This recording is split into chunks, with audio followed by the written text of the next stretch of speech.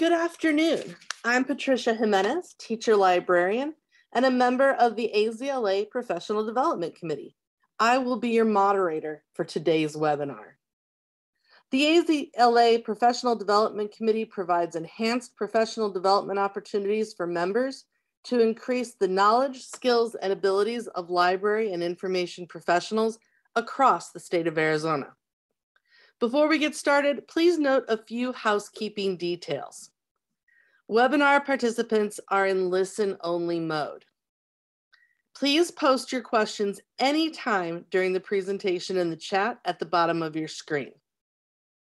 You can turn on show subtitles in your Zoom window for closed captioning. This session is being recorded and the recording will be made available on the Arizona Library Association YouTube channel. A link will be provided in your follow-up email. Lauren Clementino will be your technical director today. If you have any technical issues during the webinar, you can contact her via the chat. If you are unable to hear sound during the webinar, you may dial in using the phone number provided in your registration confirmation email. That information is also in the chat. At the end of the webinar, we ask that you complete a simple evaluation survey. The estimated time to complete the survey is two to three minutes. Please take the time to complete it as we use the data to improve our offerings to you and your feedback is important to us. I'd like to encourage library staff of all levels to consider becoming an Arizona Library Association member. Among other things, your membership enables AZLA to provide professional development opportunities to library staff across Arizona. Visit azla.org for additional information.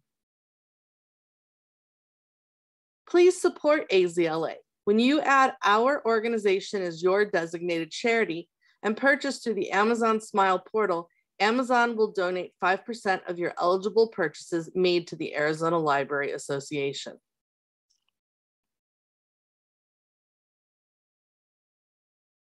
The AZLA professional development webinars reach librarians and library professionals in Arizona and throughout the USA.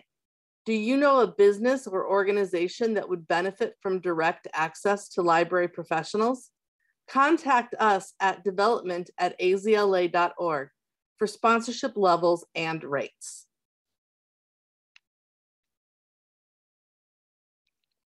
I want to invite you to the next program in our monthly webinar series brought to you by the AZLA Professional Development Committee. On July 14th, join us for a tri-university approach to strengthen Arizona research data management services with Fernando Rios, Brittany Blanchard, and Matthew Harp. Since 2017, information professionals at Arizona State have collaborated with those at the University of Arizona, the only state university in Arizona with a medical school, and Northern Arizona University on multiple cross-disciplinary scholarly communications projects. Arising in lockstep with these efforts are data compliance, sharing, and preservation questions that we must address at the institutional level.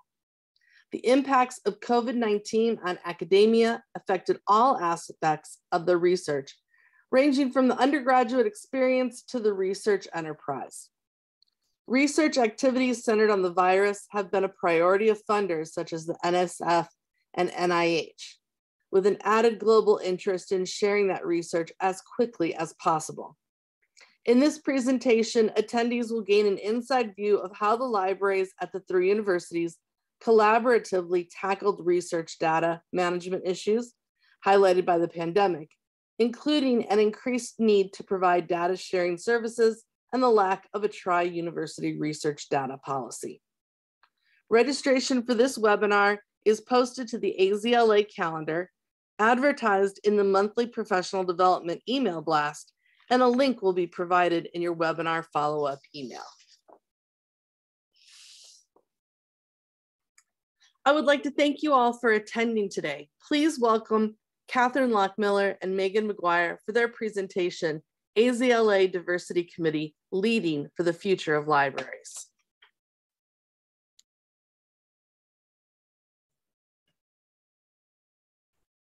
Thank you, Patty. Um, it's a pleasure to uh, be here with everybody today.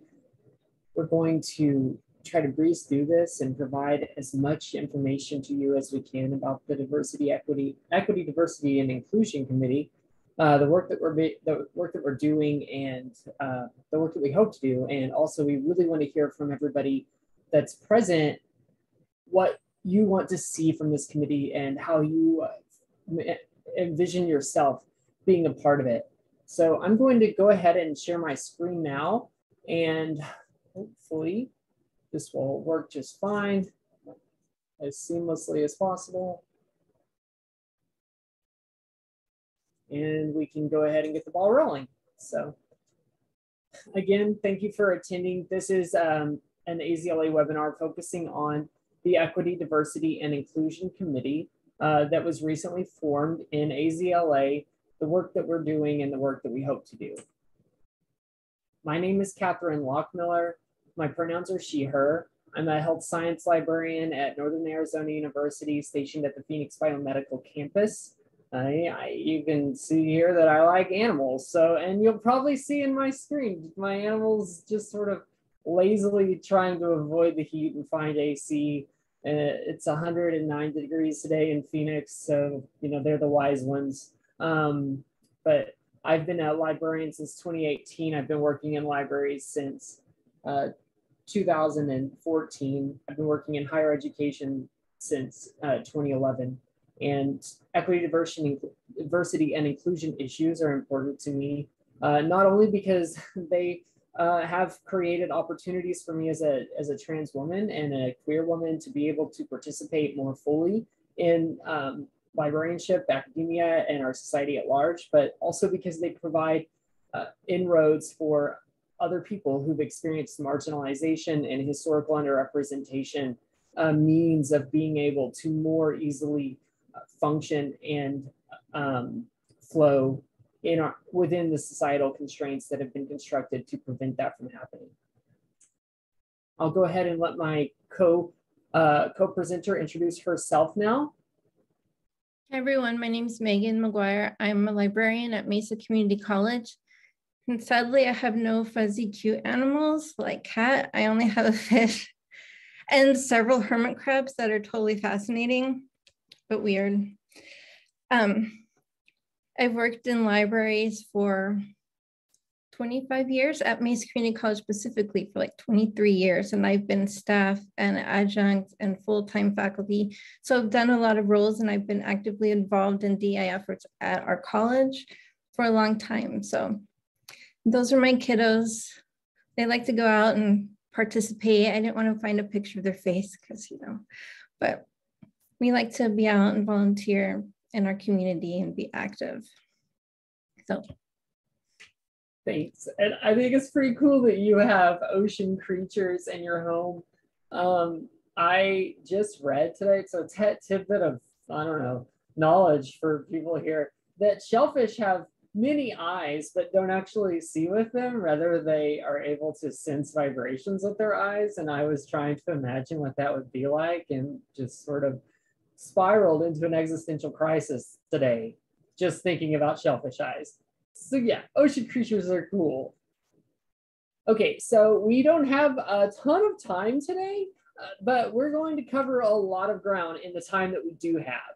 Uh, first, what we want to do is we're going to try and provide you with the sort of baseline information about, about this committee, how it was formed and under, under the sort of criteria that it was formed, um, with the original goals that the committee had. Um, this is not a very old committee, uh, and, and so it's, it's still in nascent stages, um, but there's already been a lot of work done to get it moving and get it off the ground. Uh, secondly, we're going to try, we're going to um, presume that that the audience, while you might have a really thorough understanding of the terms equity, diversity, and inclusion, we're going to presume that maybe some people here do not. Maybe some people here are not familiar with these terms. You've encountered them in various maybe occupational contexts, but they're still kind of new to you. Uh, we're going to cover that. We're going to cover what we mean when we use these terms, and we're going to ask you a little bit too. Uh, what do you think about when you hear those words? Uh, after we've done that, after we've laid that groundwork, uh, we're going to spend about 20 minutes today talking about the first major project um, that this committee undertook in collaboration with uh, University of Arizona's um, Knowledge River, uh, Knowledge River um, with uh, Berlin LOA. This was a um, survey of BIPOC library workers and library students in the state of Arizona and then the sort of report that we generated from that. So that was a lot of work developing that survey. It was a lot of work being able to compile it and then present that information. We're excited to share with you what we've learned and sort of what we hope to, to do with that. Um, the last portion of the, of the talk today will focus more so on the future. What do we want this committee to, to do? Uh, who do we want it to be? Uh, and how do we imagine our fellow library workers and library students throughout the state and library volunteers having a role to play in the future of the EDI committee. Um, lastly, we'll take questions. And additionally, if you have questions during the talk, you can land them in the chat. We may not get to them until the end and um, we'll try to get through everything. Uh, one thing I can tell you is if we don't answer every question you have, then um, you are, uh, we will get back to you in, in another format. So we can always email you, we can always exchange information and try to help you as much as possible if you have any questions or concerns afterwards. So the second bit of uh, groundwork we want to lay before we keep going here is uh, this committee, when we were thinking about this presentation and sort of announcing the presence of this committee to the wider organization, um, a lot has been happening throughout the United States and in the state of Arizona. And we felt that we had an obligation to speak up about it. So just um, maybe be mindful and attentive while I read this solidarity statement that was constructed by the committee um, organizers. Before we begin today's webinar, we wish to speak as members of the AZLA EDI committee. The AZLA EDI committee stands in solidarity with all racialized, queer, disabled, and oppressed people in library communities across Arizona and the United States. We oppose the ongoing violence against Black, Jewish, Asian, and other marginalized communities, as well as nationwide legal attacks against women, queer, and trans people. These hateful events are in direct contradiction to the ideals of a democratic and just society. Libraries in particular have the capacity to provide equitable and inclusive spaces, programs, and knowledge which supports marginalized people. And so in this month of Pride and then in the days prior to Juneteenth, we call on our libraries to take action to bring thoughtful, social justice oriented interventions into practice for the benefit of library members, as well as workers, students, and volunteers. All right, I'm going to turn over to Megan now, who's going to walk you through the history and the terminology that we use. Thanks, Kat.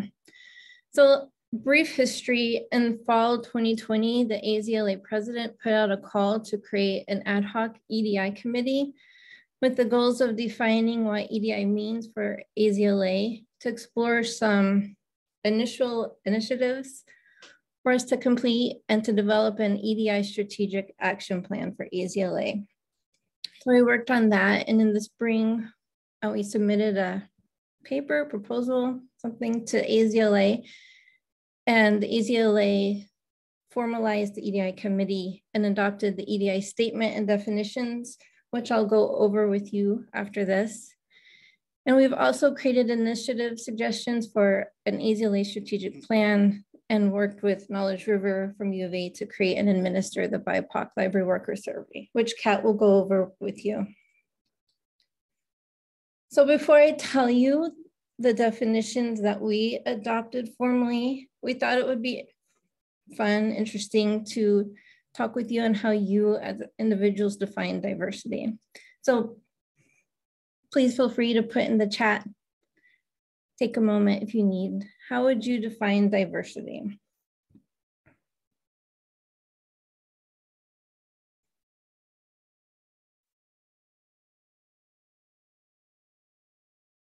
Yeah, or what words does diversity put you in mind of, as Kat said?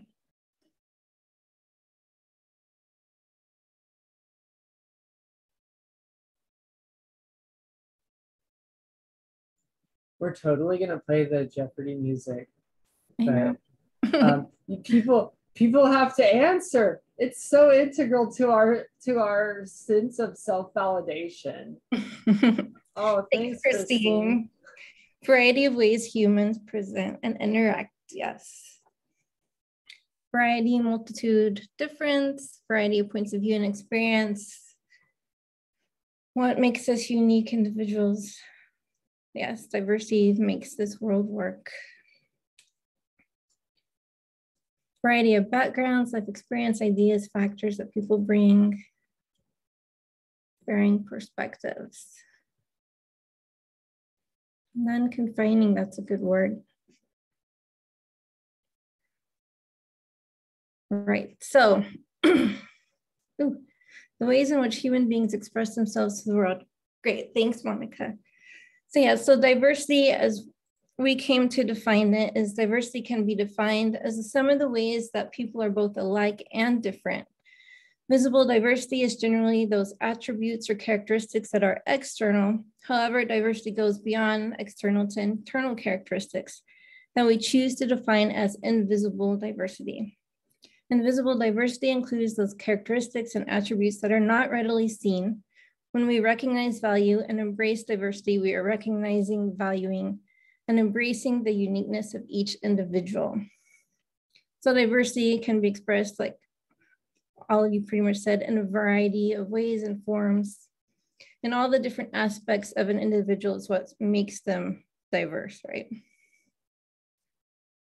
How about inclusion? How would you define inclusion?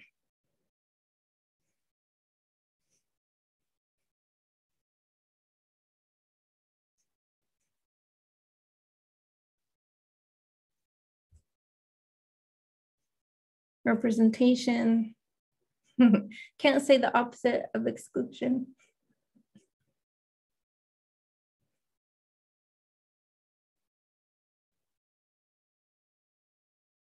appreciating what makes us unique, acknowledgement, acceptance. Yes. Means to include all. Respectful welcome. Oh, you're going fast now. All have a voice, being part of something and feeling you belong. Belonging is really important. Validation, yes. Feeling welcome and seen and included. Did I miss anything? Yeah, those are all great definitions. And ours is, can go to the next Kat? and you all touched on our definition too. Inclusion means an environment in which all individuals are treated fairly and respectfully, are valued for their distinctive skills, experiences, and perspectives, have equal access to resources and opportunities, and can contribute fully to the organization's success. Yes, specifically seeking voices not immediately represented. That's really great. So inclusion is like leveraging and interacting with the diversity around us, right? And integrating our different backgrounds, ideas, perspectives into how we operate and create value for institutions. And it's something that is ongoing, right? It's active, it's how we do things. It's not like a one and done thing, it's how we operate.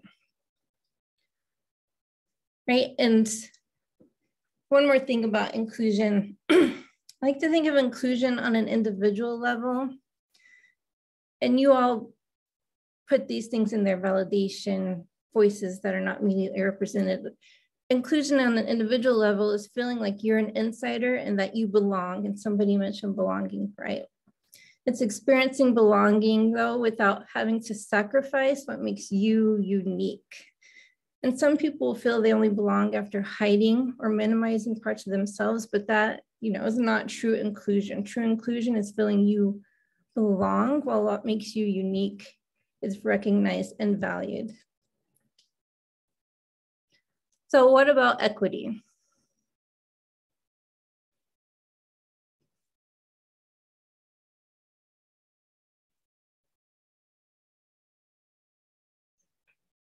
Equity is a little harder.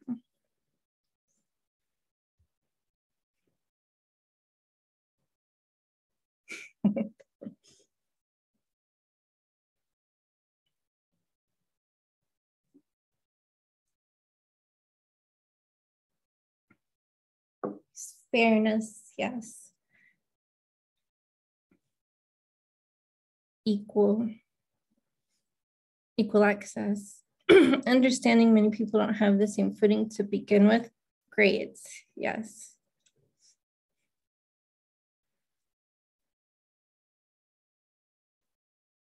Allocating resources so we can all reach equality. Going further than equality by taking individual circumstances into consideration to better ensure each and all can benefit. Perfect. So you all already know all this stuff. So our definition we came to is next screen Kat. Equity is not the same as formal equality like you implied. formal equality implies sameness. Equity, on the other hand, assumes difference and takes difference into account, as all of you mentioned, to ensure a fair process and ultimately a fair or equitable outcome. Equity recognizes that some groups were and are disadvantaged in accessing educational and employment opportunities and are therefore underrepresented or marginalized in many organizations and institutions. The effects of that exclusion often linger systemically within organizational policies, practices, and procedures. Equity therefore means increasing diversity by ameliorating conditions of disadvantaged groups. So Jessica put, reaching a point where folks' outcome cannot be predicted. Right. So we're, it strives to ensure equally high outcomes for everyone, right? And removes barriers that have been created by different societal and cultural factors. And everyone has what they need to succeed. So. Can I add something really quick too? Yes, please. Um, one thing that I want to kind of touch on that a few people mentioned in the chat, and I think is really important, is, is sort of qualifying the distinctions between our use of equality as a social justice term and our, and our, our use of equity as a, as a justice oriented term. Um, and that both have their own value. But when we say equality, historically, there's been a lot of baggage around that term because it's associated with sameness. It's associated with the notion that um, if one creates a sort of neutral environment, um, then everybody will equally have the opportunity to reach the goals that are sort of set in place within that environment. But we recognize now with data like science, with social sciences, with history, with all of these different disciplines, we have we find that that equal playing field just doesn't exist. And particularly within a social context where histories of racism and ableism and homophobia and sexism have created their own systematic barriers, preventing people from reaching those goalposts. So um, just in case there were people maybe here who, who weren't all clear on the distinction between equality and equity, you know, maybe that helps. And, and a very common um, sort of image that gets used is the image of, say, people at a at a baseball, like standing outside of, of, a, of a baseball field and trying to look over the at the, the fence at the game. And so if you build the fence, it's the fence is a horizontal straight line um, but we all know that not everybody is the same size. We know that not everybody is going to be able to look over that fence line in a way that gives them the best possible view of the game. So we use other tools in order to give other people the ability to to see the game. So whether we like in the image, you might see someone with like a box that they're standing on, um, or somebody who has like somebody who's maybe they're resting on someone's shoulders. Um, so maybe that image also helps to provide provide that sort of um, distinction for you. I like the one that adds justice and the fence is just gone. So yeah, me too. I'm a utopian in that way. okay. So next slide. Thank you, Kat. So we incorporated those three values and principles into a mission statement that would help guide our work and give us a shared vision on the work we're going to do. And that mission statement is Equity, diversity, and inclusion are fundamental values of the Arizona Library Association and its members. We support Arizona libraries and library workers in creating justice-centered workspaces that represent the communities we exist to serve. To accomplish this, we facilitate conversations around non-discrimination and equitable opportunity as they impact the profession of those we serve as allies. We use a social justice framework to inform library policies, development of resources, collections, displays, and programs. We strive to create an association culture where these values are incorporated into library workers' everyday activities. So this is what we use to come up with our list of initiatives. And the first one that we've done is the BIPOC Library Worker Survey. So Kat is going to go over that real quick. Sweet. Um, okay, so this was a large scale um, project that took a lot of working hands, a lot of moving parts. Um, so we, we really want to be clear that the people who, who did this, this work get the, um, the proper attention that they deserve. So um, these are the curators who had a hand in whether it was getting this, this survey off the ground um, or helping to organize the committee, helping to um, create the survey or edit, revise, um, to distribute it, um, and then finally to organize that data and then analyze it and compile it again in the form of a report. Um, that all of these members, my, myself, um, the other co-chair of our EDI committee, Jess Sallow, um, Judy Morelon, Me Megan as well, um, Christina Santiago, um, Stacey Akahochin, Berlin Loa, and Lindsay Power. So we're really grateful um, to everybody that took part in this and um, we couldn't have done it without all of these team members working together. Okay, so what was this? What was this survey? It was an it was a survey intended to document the job search and hiring practices um, and experiences of BIPOC identifying LIS graduate students and library workers seeking employment in the state of Arizona. Um, this includes those currently working in the field as well as those seeking employment. Um, so we we wanted to find out what it was like both to go through the hiring process and then if a job was um, procured, what it was like being in that position as a BIPOC library worker. And if somebody um, had negative experiences, what were those? If someone had positive experiences, what were those? And we did find some common themes throughout, uh, which I'm going to go over. Um, but um, uh, there was also variety in answers. Um, not all positions are the same. Not all experiences are the same. Um, so that was another important factor that we learned here. Okay, so ah, I'm on the wrong tab. There we go. Okay, so who took the survey? Um, we did we did limit the survey participation to individuals who belong to historically racialized um, communities. Um, we were not looking for the experiences of um, white people in compiling these results. Um, and, and additionally, I should mention, if you are not familiar with the term BIPOC, B-I-P-O-C, um, it, it's that, that term stands for Black, Indigenous, and or persons of color, depending on who you ask. And uh, we, we use this term, we felt that this term was the most cohesive, the most responsive to kind of, I think, getting to the experiences of individuals who are most likely in Arizona to experience that form of underrepresentation in library work. Um, so as for as for the demographic uh, makeup of our survey participants, 31% um, were um, biracial or multiracial. Um, the largest group were Hispanic um, or Latin, um, followed by a uh, equal an equal distribution of Black and Indigenous participants, and then 7% of participants identified as Asian or Asian American.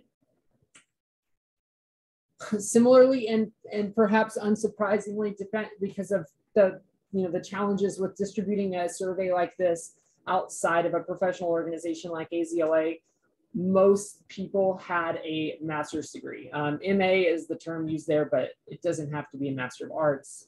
Obviously, an MLS or an, an ME, um, but generally in MLS are the mo- are the highest degree obtained. Um, I was just checking the chat there. Okay, cool. So uh, 67%, uh, most participants had a master's degree. Most participants were either in a position where they had just graduated from library school, they were already a professional librarian, credentialed librarian, or they were a library um, staff worker who um, had a master's degree. Maybe they were seeking employment um, as a professional librarian, or maybe, or, or perhaps not. Those two things are not necessarily in line with one another. Um, additionally, 23% had a bachelor's degree. This does not mean a bachelor's degree in library science, it could be any bachelor's degree. Um, so roughly one third did not have a master's degree. Um, in terms of the type of employment that our uh, participants um, procured, uh, unsurprisingly too, I, from my perspective, um, with AZLA was that the majority of uh, the largest number of respondents, I shouldn't say the majority, the largest number of respondents, 36%, were in a professional position within a public library.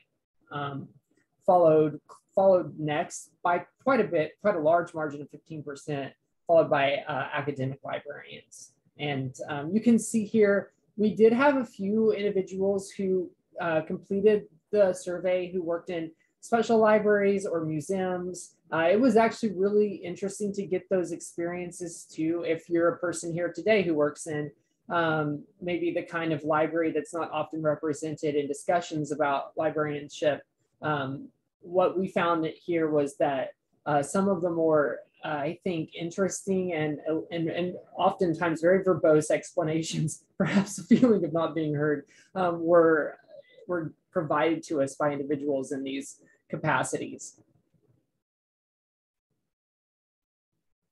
All right, so like I said, we focused on the sort of linear nature of the hire of the employee uh, employee lifespan, beginning with the hiring process, beginning with the per, beginning with filling out a a um, application, submitting a resume, getting an interview.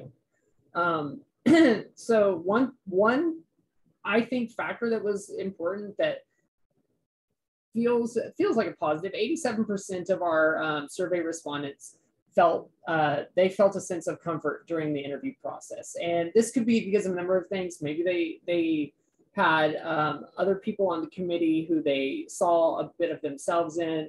Maybe they um, um some people mentioned uh,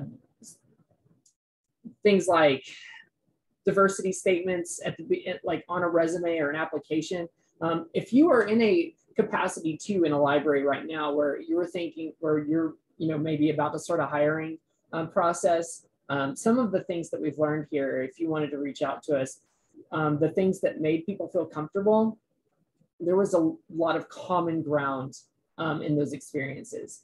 Um, so uh, importantly too, 44% of the people who had gone through a hiring process had um, identified in some way, whether by physical appearance or some other method, they they noticed that there was another uh, that there was a BIPOC person in their interview committee. Um, this, you know, this could mean this could be interesting for for libraries, but I know that also coming from an academic library position, one of the challenges in this capacity too is that not all people on interview committees work in libraries, right?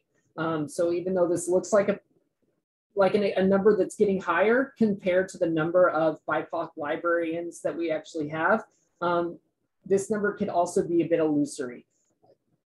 One, because not all people on hiring committees work in libraries, and also due to the nature that a lot of libraries are required to meet sort of equality goals in order to, to form a committee um, through their institution. So um, there are a lot of factors that are behind these numbers. So some of the qualitative feedback that we received in addition to quantitative numbers regarding the hiring process, um, people mentioned these were, were words that were commonly used that we were able to suss out. Um, people felt, and these are the more negative, I think, terms. So we, we already see like some quantitative um, evidence that there were people who felt comfortable. But why did people feel uncomfortable, or why did people, or what are the uncomfortable elements that people were able to point out? And um, people found that questions were uh, sometimes invasive. Um, people felt that their experience of the interview was rushed, um, that it didn't feel personal. Um, I, I connect impersonal and rigid um, and honestly, I connect these five words in my mind to uh, this sort of bureaucratic. They were they were bureaucratic that they felt like they weren't um, necessarily wanted. That they felt like this was just rote or by the numbers. That the, that this did not feel like a welcoming or inviting space. Um, something that is really problematic when we're talking about libraries, which many of us prize our spaces for being welcoming and inclusive.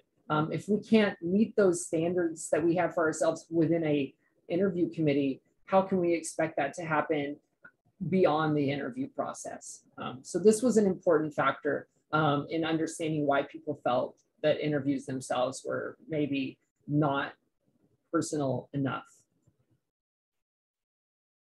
So in that sort of hazy space between hiring and retention, 11% of the respondents noted that there was not an EEO statement in job postings. Now, this also mean um, this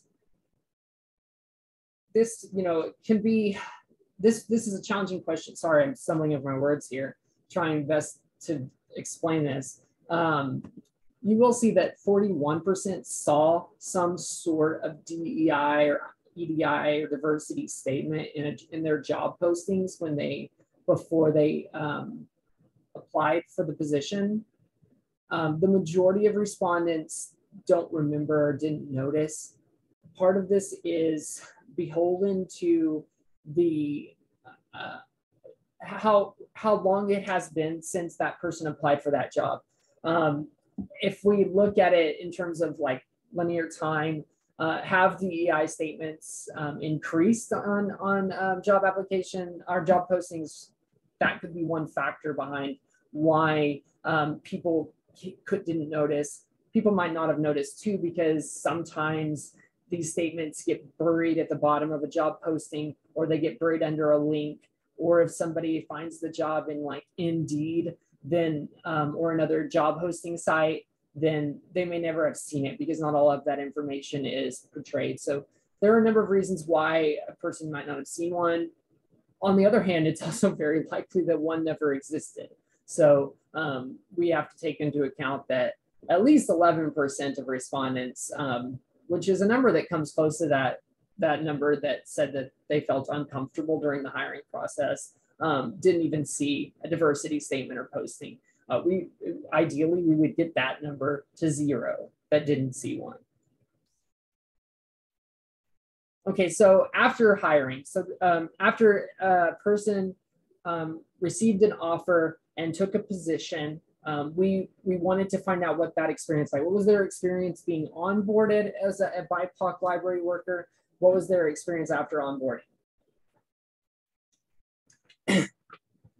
And the language that we use at the top here, retain workforce diversity by instituting welcoming environment practices and by providing support systems and opportunities for professional growth and career enhancement comes from the state of Arizona's sort of um, key practices for, for organizations um, to follow in terms of EEOC and worker and workplace compliance. huge number. Um, I felt this was this was big.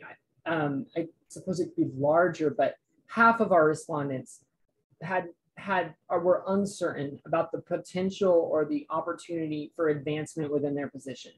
Um, that that the way that this was framed in qualitative feedback that we received was that people felt in some cases that what they'd been told had changed so maybe they had a um, library director or a supervisor, a person in charge who had who had told them before they ever took a job, yeah, there's lots of opportunities here to to grow, to, to move forward in your career, and that that person had since left, or what that person had said was informal and therefore didn't count.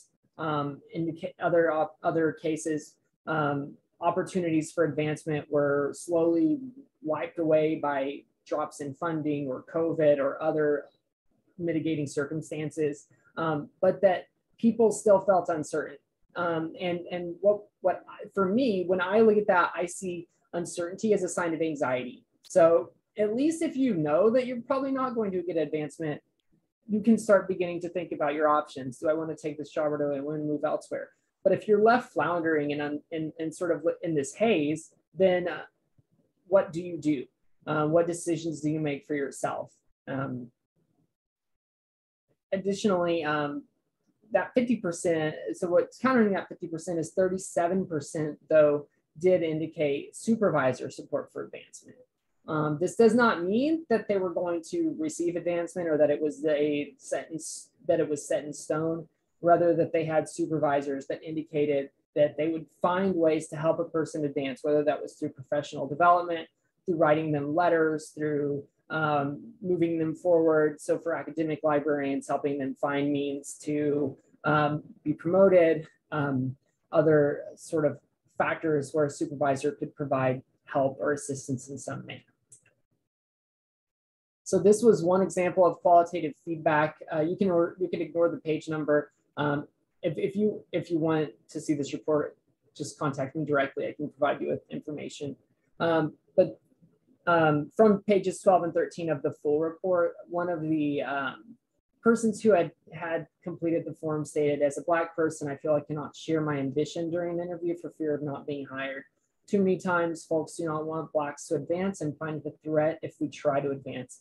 And uh, for those of us who were working on the survey, this resonated. This was a uh, commonly, this was, this was not an isolated statement. This statement should be looked at in the context of other people having said something similar or something with the same sentiment, um, where they felt that they could not talk about their goals or their wants, their desires as a librarian or as a person who wanted to become a librarian um, for fear of retribution or for fear that someone would think less of them due to the color of their skin or the racialization that they've experienced. Um, and uh, that having felt that way um, is very likely because they have been treated that way in another capacity, whether in school or in another, another job. So um, one important, we, uh, if, if you look at the, the research behind mentorship. Um, mentorship is one of the most important um, factors when it comes to giving workers a sense of belonging or a sense of that inclusion, a sense that they are um, welcome in a space. And it's one of the factors that helps keep, uh, for employers, that helps keep workers around, um, that keeps them in a position for an extended period of time. Um, so even if that's, even though that's the case, 84% of the people who completed this survey had not ever had a formal mentor at a library in Arizona.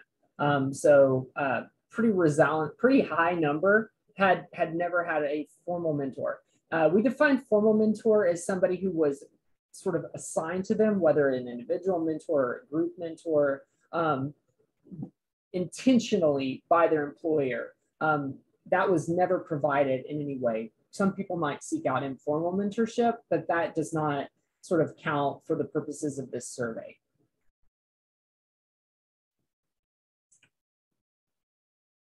So um, in, in addition to, to, the lack of mentorship options, these are some other um, data points that we found that relate to retention and performance so 39 respondents described the mentoring experiences that they did have.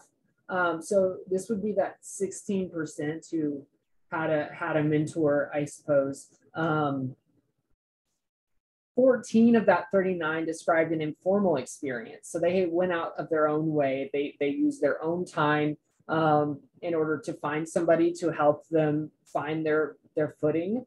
Um, 14 other respondents indicated that having a formal mentor would have increased their success. So they, they strongly believe that having a mentor in place would have made um, life easier for them in the workplace. Nine respondents indicated the benefits of having a mentor, and um, two respondents had a negative experience. So a small number did not have a good experience.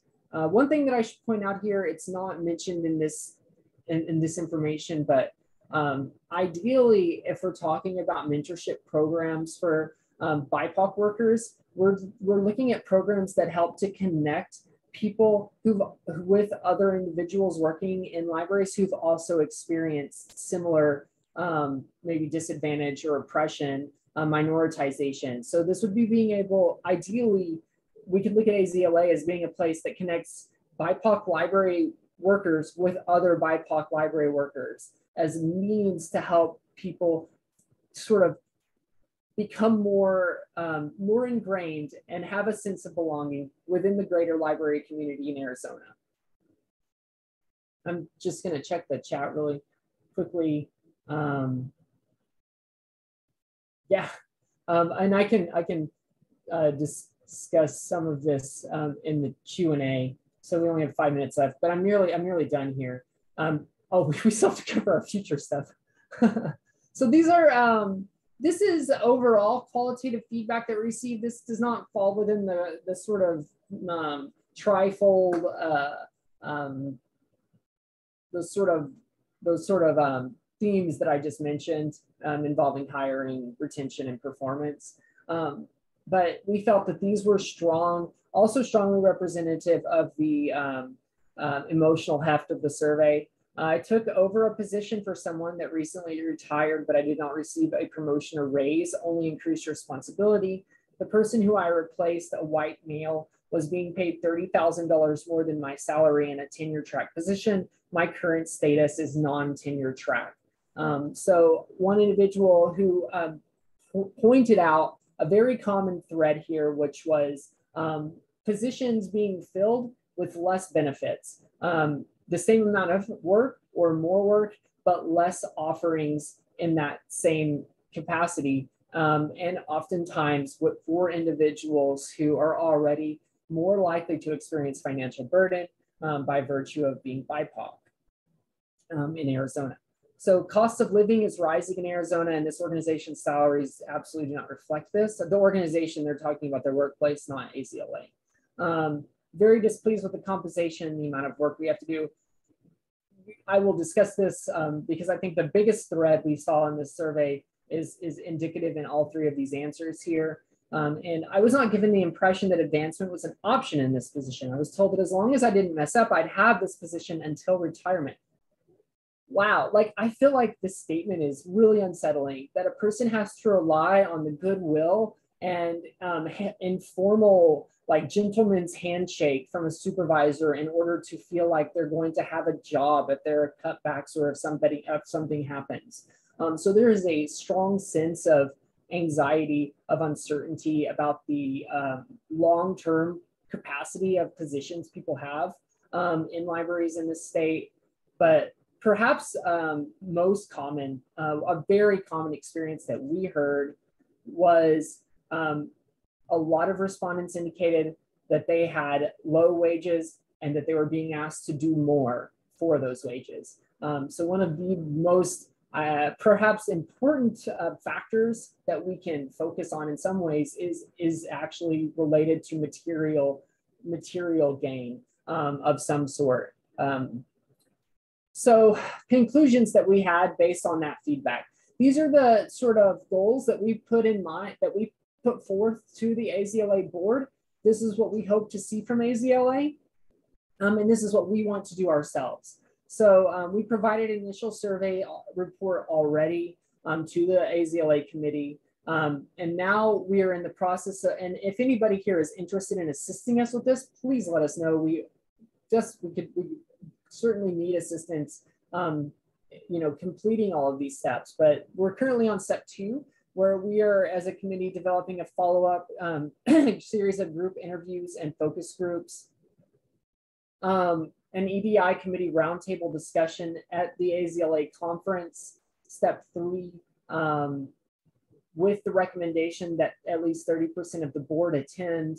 Um, professional development, mentorship, training, and other opportunities to see, secure workplace advancement and possible increase in compensation. And step five, strive to decenter whiteness within institutions by including more BIPOC representation via recruitment and retention efforts in leadership roles. Um, so this is a scaffolded approach. Okay, so the last thing I have is the last slide. Um, we have um, we have we have plans aside from what I just mentioned. We we have goals that we want to achieve, and um, we we need help achieving them because there aren't many of us, and we're all overworked and underpaid, especially the especially BIPOC library workers. So um, what we want to see happen, we want to create a resource repository to assist in collection development. Um, this would be something that, especially if you have collection development experience, if you're interested in maybe developing uh, or building collection development experience, I don't know how to say that. Um, this would potentially be something that would be uh, worth considering. One other uh, thing we hope to do is continue researching the lived experiences of marginalized library workers and students, and this goes beyond the BIPOC survey. Um, we have interest in other surveys that follow a similar format asking people who have experienced historic underrepresentation and oppression what it's like working in libraries here for them as well. Um, hosting a series focusing on training library administrators on the basic aspects of EDI. Um, so we know that a lot of the issues that were pointed out in the BIPOC survey, um, that those don't um, get resolved until we start working on helping people in leadership positions um, take charge of um, the history of racism and the history of creating barriers for BIPOC people within their libraries. Um, so that's one example of where we hope to see leadership um, professional development. Provide opportunities for members to connect and learn in informal settings. We're hoping to put together a series of, um, of meetups in different locations across the state. Um, right now, like it's like I said, uh, I think I said earlier, it's 109 degrees here in Tempe. So for so I prefer I prefer Flagstaff. So anybody here in Flagstaff, just just await await my my coming. Um, and then lastly, provide more EDI focused webinars. So we're we're this is our first one actually in partnership with the Professional Development Committee. Um, the first of many um, webinars focusing on different EDI characteristics and tactics to build EDI in libraries. So that's all I have other than questions. Megan, do you have anything you'd like to add before we take questions?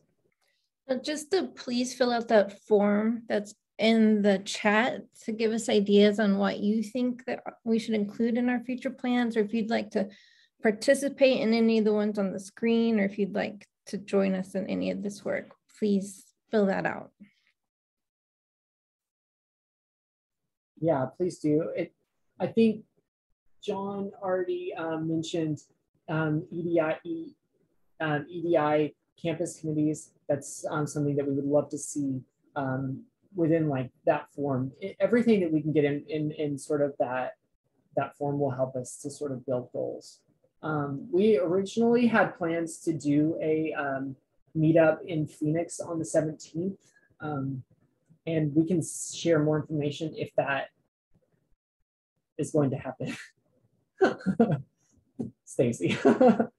um, so uphill, um, hopefully, yeah, um, hopefully we're, we're doing good work and we're finding ways to make AZLA a more inviting um, organization and equization and equity is, I feel like I just combined the words equity and organization.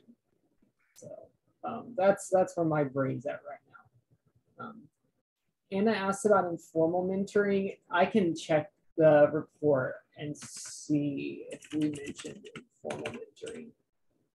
Um, I know that people mentioned informal mentoring.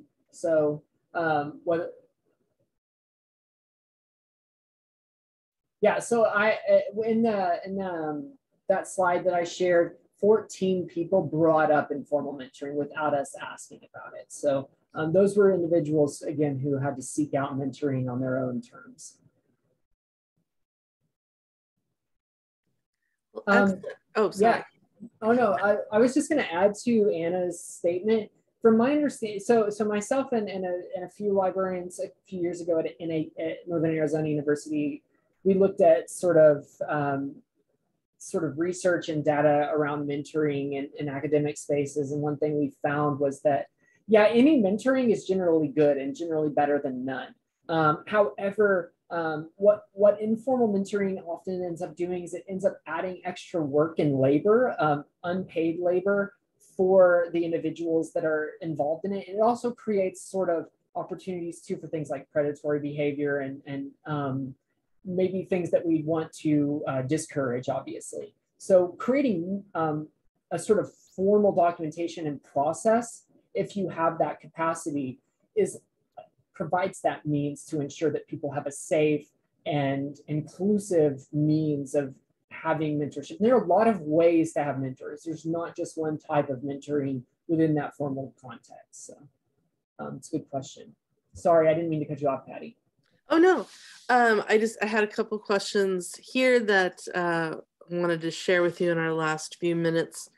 Um, I think the the from what I'm I'm getting is uh, people are eager to step in, but you know you talked about um, the hiring process, and I mean I've been a librarian for 16 years. I've never been on a hiring committee.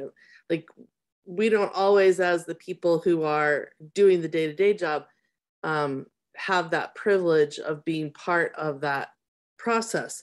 So, what can individual librarians and librarian library workers do to impact that that hiring process, make it um, better or more supportive for BIPOC and LGBTQIA plus uh, applicants? Yeah, I think that's. I mean, I think it's a really good question, and I, I, I can't. I've never been um, the sole librarian on a library hiring committee. I've been the sole librarian on other kinds of hiring committees, but um, one thing I I can suggest, I think, is.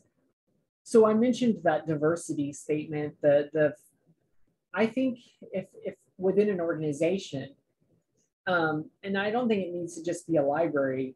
Um, it, it, if you're in a in a school system or district or a public library system, um, some sort of or finding people that you can work with to create some sort of organizational drive to do something as simple as put together a statement on diversity that can go into a job posting. Um, and I think that's a good first step. I think you can go beyond that. Um, and a lot of job postings, I think at this point are starting to include things like um, having applicants write a diversity statement, like what is your personal experience with EDI and how does that inform your work as a you know librarian or whatever. Um, so that's a maybe a second step, but I think there are different. Um, it can be scaffolded in that way, and I think as an individual too, um, perhaps you have the opportunity to um, I think AZLA, like to work with an AZLA, like you're doing right now, I think you're you're a great example of someone who's working within a um, larger organizational body that can hopefully, I think, use things like leverage and other um, important tactics to um, kind of help libraries see what they should be doing. Um, I don't know, does that answer that at all? Yeah, I think so. Um, well, I want to thank you so much, both you and Megan, um, for uh, presenting and, and working with the Professional Development Committee today. Um, I'm looking forward to what else uh, your committee has uh, in the future for professional development. Uh, and I want to thank all of our attendees for being with us today. Uh, you will receive an email with a link to the recording of this webinar. Uh, make sure that you fill out that um, form for our panelists with other uh, ideas that you have that uh, the EDI committee can sort of start to address. Uh, as speaking as a former committee chair, it's always helpful to have other ideas and to get information from um, other people. So please fill that out and help them out. Uh, thank you, everyone. Have a wonderful day.